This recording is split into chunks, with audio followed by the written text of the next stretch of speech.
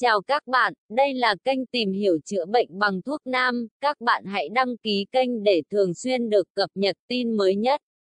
Diếp cá còn có tên gọi khác là dấp, ngư tinh thảo. Diếp cá mọc hoang hay trồng ở những nơi ẩm ướt.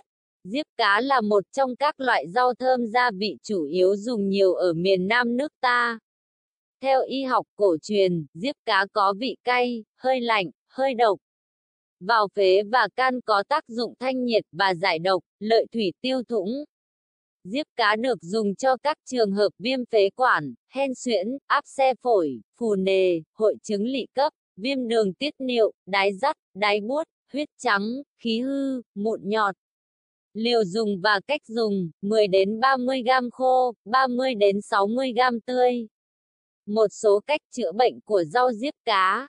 Chữa đau sưng, Diếp cá 15g, nhọ nồi 15g, cải rừng 15g, xương sông 15g, dưa chuột 15g, khế 15g, đơn đỏ 15g, huyết dụ 15g, xích hoa xà 3 lá, bí đao 3 lát, củ nâu 3 lát.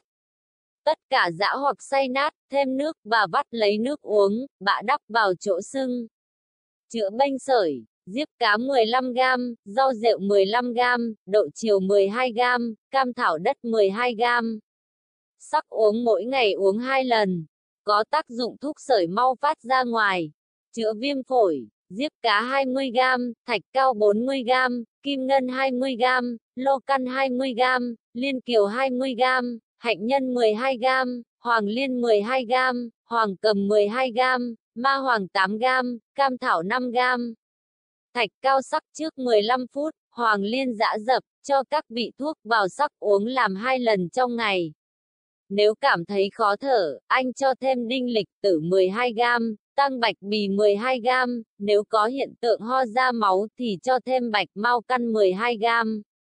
Chữa viêm xoang nhiễm khuẩn, diếp cá 20 gam, thạch cao 40 gam, kim ngân hoa 16 gam, tân di 12 gam, hoàng cầm 12 gam, chi tử 12 gam, chi mẫu 12 gam, mạch môn 12 gam, Thạch cao sắc trước 15 phút, sau đó sắc các vị thuốc uống.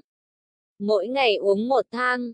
Nếu bệnh nhân sợ lạnh, sốt, nhức đầu thì bỏ vị thuốc hoàng cầm, mạch môn, thêm vị thuốc ngưu bàng 12 gam, bạc hà 12 gam. Diếp cá trộn củ rau diếp, diếp cá tươi 100 gam, rau diếp tươi 100 gam.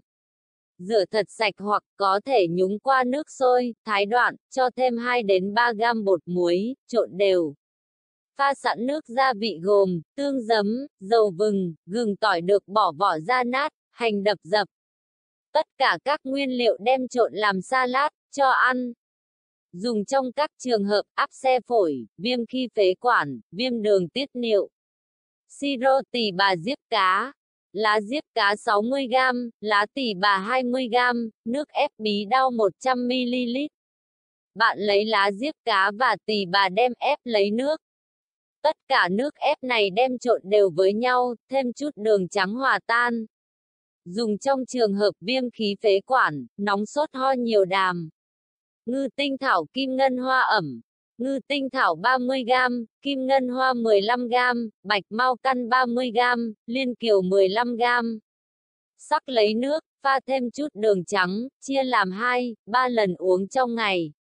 Dùng cho các trường hợp viêm phổi cấp, viêm đường tiết niệu sốt nóng, ho, tiểu dắt, tiểu buốt, nổi ban dị ứng. Chào các bạn.